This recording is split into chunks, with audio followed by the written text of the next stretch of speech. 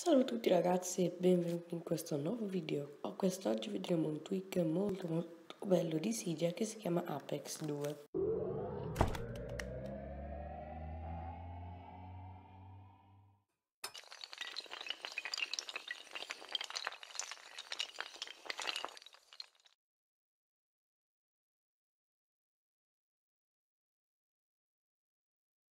Questo tweak ci permette di sovrapporre le icone. Per esempio, se noi prendiamo l'applicazione promemoria e la scorriamo verso il basso, come vediamo appariranno dei più.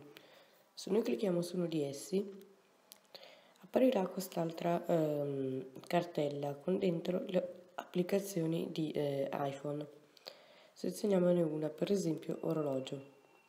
Poi ne selezioniamo un'altra qua, per esempio memo vocali e qui mail. Per realizzare le applicazioni nascoste dietro la prima dovremo fare uno swipe verso il basso. Infatti se noi lo faremo apriranno le applicazioni nascoste. Per esempio se noi adesso premiamo orologio ci appaiono tutte le ore e quindi le applicazioni funzionano. Andiamo a vedere le impostazioni di questo tweak. Allora, come vediamo qua ce lo troviamo qui c'è la guida utente che però non vi consiglio neanche di leggere. Poi andiamo in configurazione e possiamo modificare le cose. Allora anteprima sub apps ci permette ehm, di eh, vedere le di, di, piccole linguette sotto le nostre applicazioni che, che così ci fanno capire che sotto c'è qualcosa. Um, è, è, possibile utilizzare anche il tema graph grabbers che praticamente eh, le linguette eh, rimangono solo verso l'alto o verso il basso. A me non piace e quindi metto eh, quello originale. Poi eh, c'è un'altra ehm, impostazione che si chiama accesso alle apps. Eh, praticamente ehm, è il modo in cui noi possiamo aprire quel, quelle applicazioni lì. Se noi eh, di, default è, è impostato swipe verso l'alto e swipe in basso. Se noi impostiamo che doppio tap per aprire le applicazioni, basta che tocchiamo due volte le app e ci esce um, con le icone. Uh, un'altra um, cosa interessante è l'accesso allo spotlight, perché noi con questa um, tweak faremo fatica ad accedere allo spotlight, perché infatti adesso volevo tirare giù lo spotlight ma eh, in realtà non riesco bene perché, ehm, perché ho questo tweak.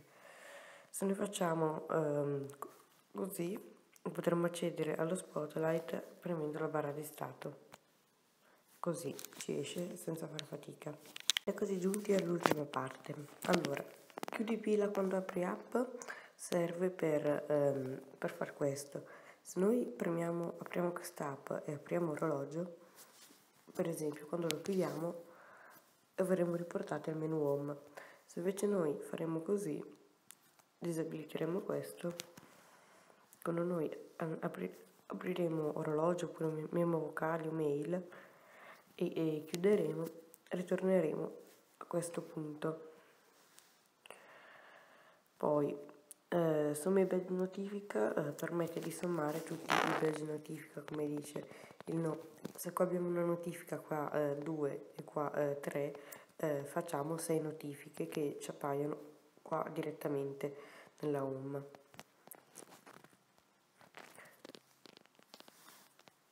Eh, l'ultima ehm, impostazione permette eh, di modificare se creare nu nuove pile praticamente se noi abilitato potremo creare le, le, anche altre pile con altre app.